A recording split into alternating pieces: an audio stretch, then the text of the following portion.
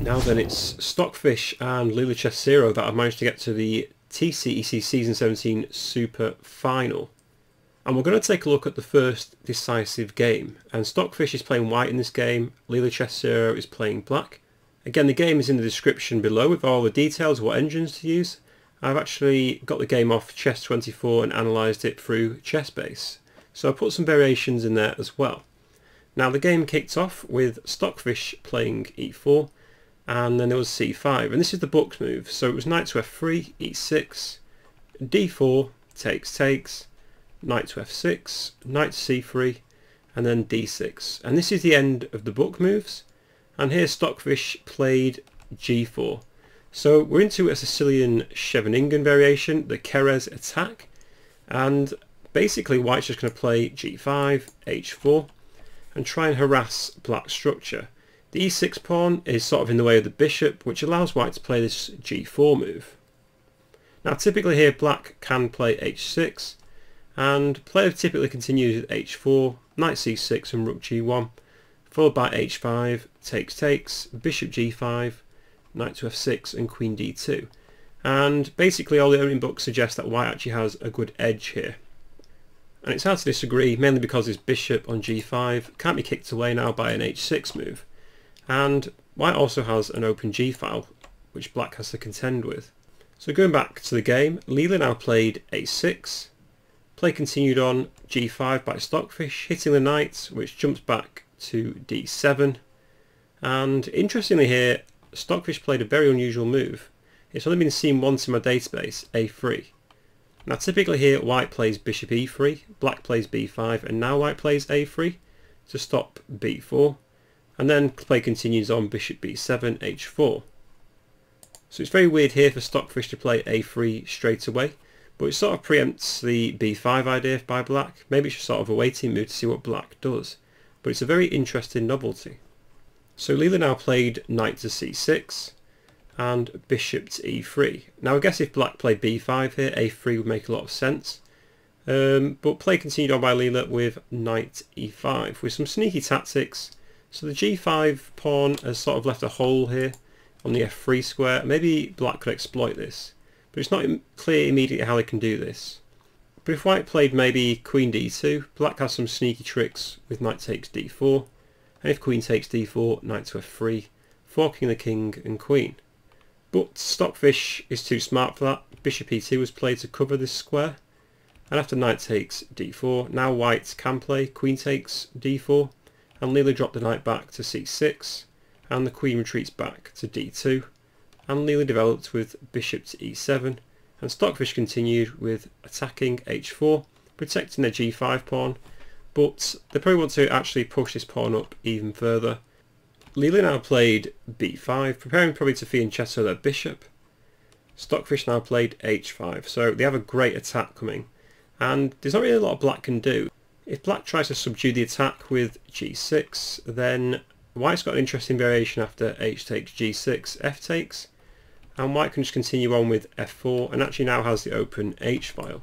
So this doesn't look very good for black because if play continued with queen a5, bishop d3, b4, white has a nice move, knight to d5, sacking a piece, and if black accepts this with e takes d5, then white can recapture, knight d8 and play bishop takes g6. The h-pawn is pinned. So after knight to f7, bishop to e4, bishop g4 and then bishop d4. White's got amazing two bishops in the centre of the board, attacking the rook on h8.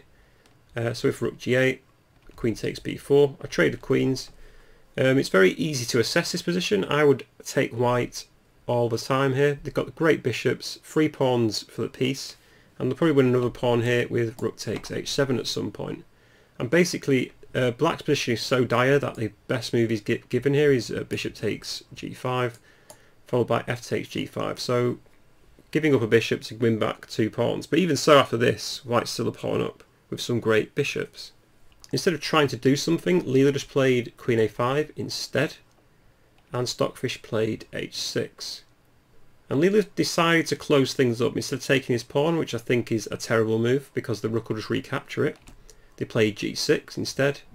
And Stockfish saw fit enough now to play castle's kingside. So Obviously Stockfish feels that their king is absolutely safe here, and it's hard to disagree. There's not really many pieces that can attack it. Basically the position on the king side is actually quite closed due to this pawn structure, and I guess why its plan now is just to play f4. Leela also castled kingside, and Stockfish did play f4, preparing the move f5. Now if Leela again tries to do something with like e5 here, White can just play f5 and has a great position. Also d5 looked interesting, but still White just wins a pawn with takes, takes, b4, queen d8 and then knight takes d5 with a great position for White. So again after f4, Black's pretty much forced to sit back and wait, which is what Leela did with queen to c7. And now Stockfish just builds up, builds up this f5 move, rook f2, rook b8 and then just double rooks on the f file, prepares f5, bishop d7 and bishop g4. So now three more pieces by Stockfish have just been put into this f5 move and black's still sitting back. They play rook c8 by Leela, Stockfish plays bishop h3 and queen b7. So preparing the move b4, trying to gain some activity, but Stockfish just plays knight to a2 to stop this. a5, so Leela okay is now building up on the queen side with this b4 push. But uh, after knight c3, Leela still builds up. Now uh, Stockfish just comes up with an excellent move. Just plays b4.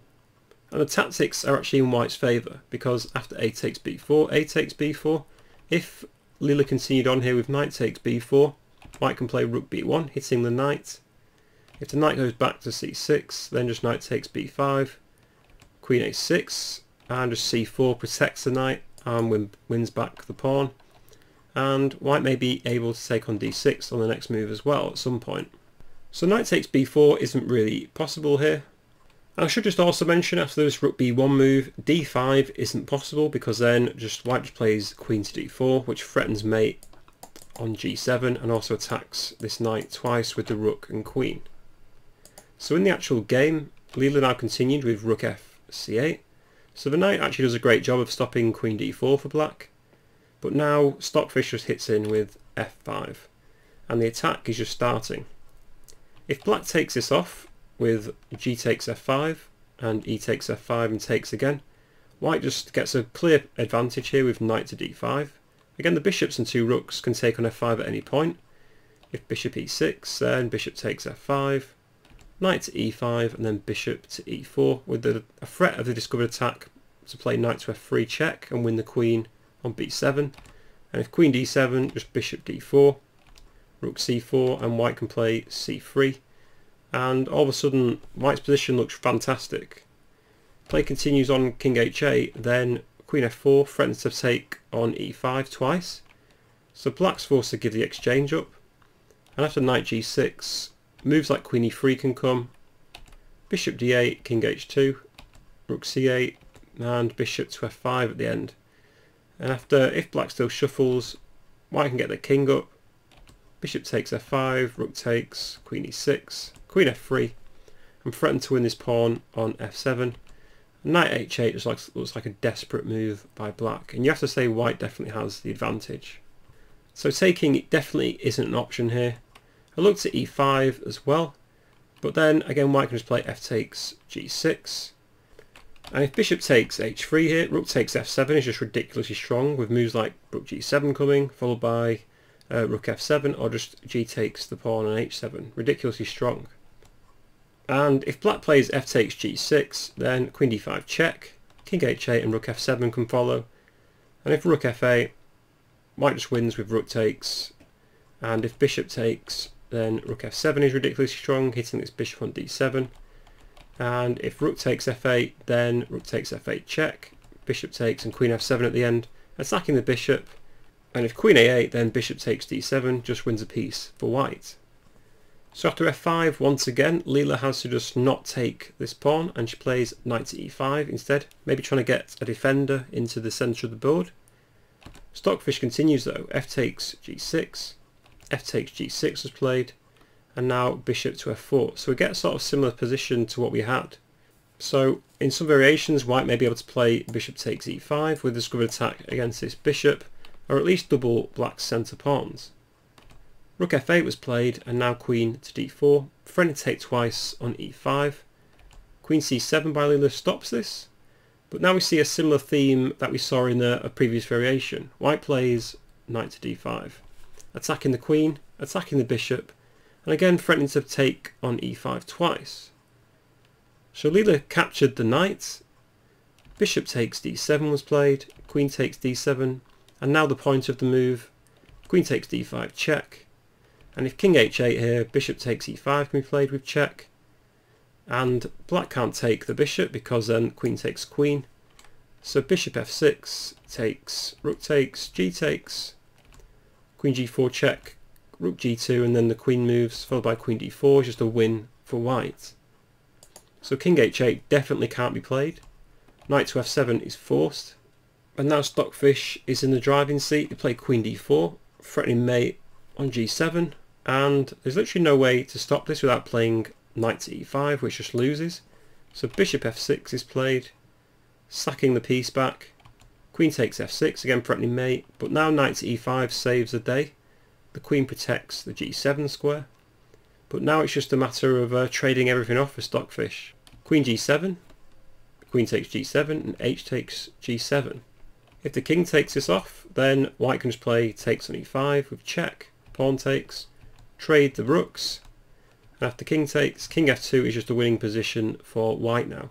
For instance, if king g7, there's king e3, black goes for h5 here, then just takes, king takes and c4 just wins because after pawn takes, b5, white will just run away and get a queen. And in this endgame, if king f7, again c4 just wins with takes, king d2, and black's got a problem. If the black king goes this way, then the white king will just come up and take this pawn off. And if they try h5 again, then just g takes h6, king g8, and b5 just wins because white's going to get a queen on either side of the board. So going back to the game, rook f e8 was played rather than king takes g7, but even so Stockfish just trades on e5. Pawn takes on e5, and after rook f8 we frankly get a similar position, just rook takes, rook takes, rook takes, pawn takes, and king takes. And we're into an identical position pretty much. King f1 was played, king f7, king e2, king f8, and then c4, pawn takes, king to d2, and Leela's got a decision to make Basically she loses no matter what she does. If king e7 here, king c3 can be played, king d7, king takes. And it's just an easy won endgame. Basically, white's going to shove the pawn all the way up the board, and even if it's uh, a drawn position, the king can always come back and take this pawn off. And in this variation, king c6, the pawn can just run up the board. In the actual game though, Leela played king to g7, b5 was played, and eventually white just got a queen. Here, h6 takes, king f7, and to rub it in, Stockfish got another queen, and queen takes e5, king d7, and here actually Leela finally gave up and resigned the game. And Stockfish got first blood in the TCEC 17 Super Final. So an amazing result and a really nice game played by Stockfish. And to be honest, Leela never really stood a chance uh, in this game. But anyway, thanks for watching my video. Hope to bring you more of these TCEC games very soon. Please do drop a like, comment or subscribe if you enjoyed the video or you haven't already. And I hope you all are staying safe at home and playing some great online chess at the moment. Anyway, hope to see you tomorrow with another video and stay safe at home everyone.